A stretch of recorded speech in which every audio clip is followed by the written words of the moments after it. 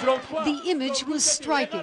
The president of Georgia, his nation reeling from a military incursion by Russian troops, stands defiantly on the main square in the capital Tbilisi, calling on the world to defend his country. At his side, the leaders of four former Soviet republics Ukraine, Latvia, Lithuania, Estonia, and the former Soviet bloc nation of Poland, who've had their own run ins with Moscow. You Georgians, stay united. United, you win. But Georgia's army was no match for Russian forces, in spite of a vastly increased Georgian military budget and training by U.S. military advisors. And some of Russia's smaller neighbors are drawing big conclusions from Russia's victory. Could Moscow try to do the same thing to them? The U.S. Defense Secretary is stoking that fire. I think that the Russians um, further message uh, was to all of the parts of the former Soviet Union as a signal uh, about trying to integrate with the West and and move outside of uh, the uh, long time um, Russian sphere of influence. Moscow scoffs at that idea. We have no plans to throw down any leadership. That is not part of our culture, part of our foreign policy. It is not what we do. But Russia's foreign minister is dropping strong hints that Moscow would recognize the independence of Georgia's breakaway regions no matter what Georgia's president Mikhail Saakashvili thinks. De facto, right now, neither the South Ossetians nor the Abkhazians want to live in the same country with the man who sent his troops against them. Even as ceasefire negotiations continued in Georgia's capital, Moscow's tanks were still prowling the western front. At first, their target was this the vital Georgian seaport of Poti, outside the pro Russian breakaway region of Abkhazia. Though thought to have been under Russian occupation, Poti's docks have remained open, and the Russian soldiers seem to have left the city largely untouched. However, they have sunk five Georgian Navy and Coast Guard vessels, and as we speak, just behind this wall, a small element of Russian troops and armoured vehicles is in control of this part of the harbour, loading inflatable boats onto trucks. Locals say the troops arrived early in the conflict. Their presence quickly followed by bombing, which led to a number of civilian and Georgian military deaths and casualties. Life appears to be returning to normal here in Poti. However, residents say the Russians are conducting occasional patrols in their armoured vehicles.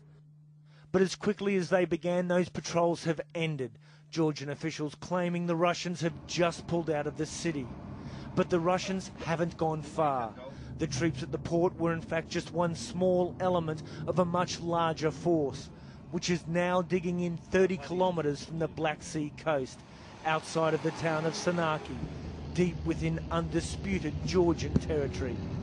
Vehicles line the area's roadways.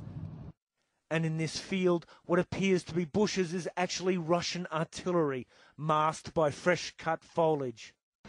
From those positions, these oil tanks in nearby Poti and the railways that carry the oil remain at the Russians' mercy. And they will stay that way until Moscow brings these troops home. Michael Ware, CNN, Poti. Turkish journalists come under fire as they drive through South Ossetia.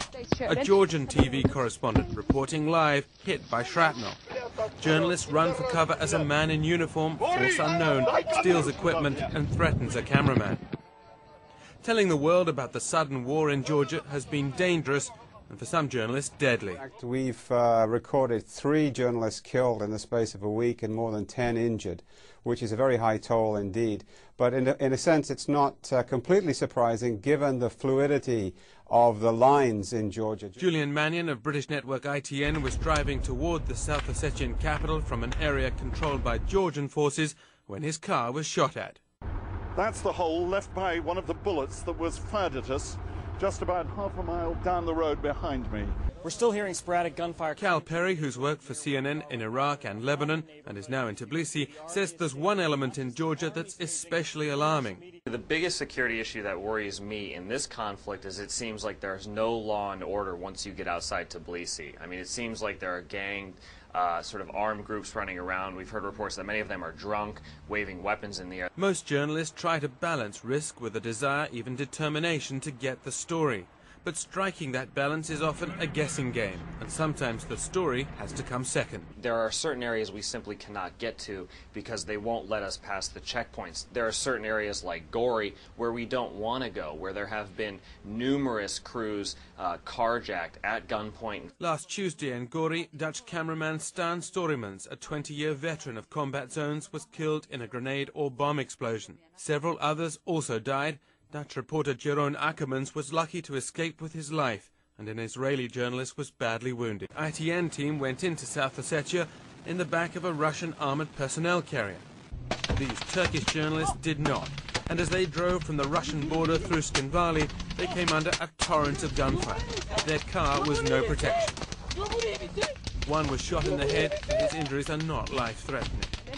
Someone just as lucky Tamar Urashadze wasn't wearing a flak jacket when she was nicked by shrapnel.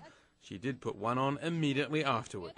Even if a ceasefire takes hold in Georgia, it'll be just one less place where journalists are vulnerable.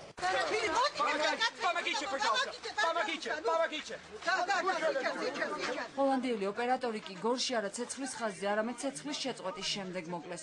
ჟურნალისტები რუსული თვითმფრინავების მიერ დაბომბილ ქალაქში მას შემდეგ შევიდნენ, რაც პრეზიდენტმა მედვედევმა ცეცხლის განუახლებლობის პირობა დადო. This is what happens when you drive towards the Russian army. A Turkish TV crew drive from Georgia up the perilous road to Tskhinvali in South Ossetia on Sunday.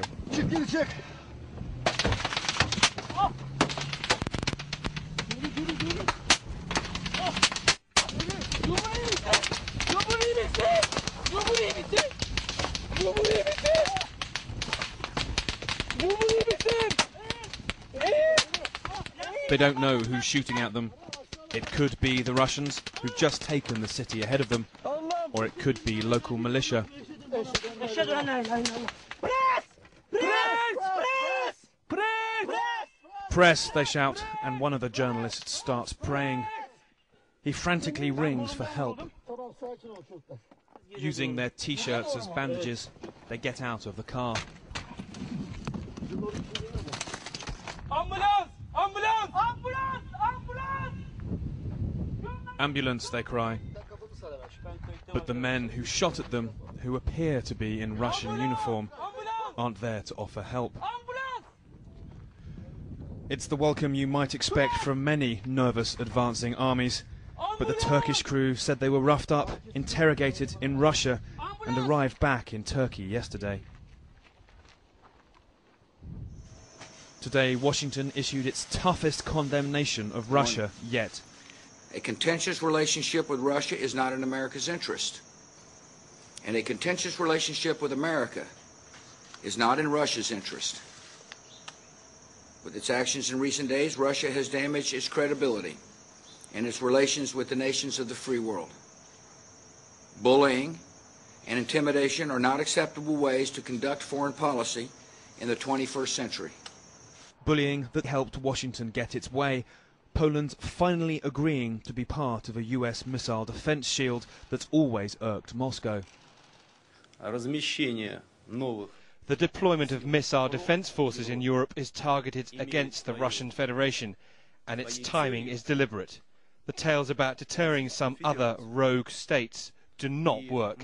One has to admit, though, that the decision has brought about no calm.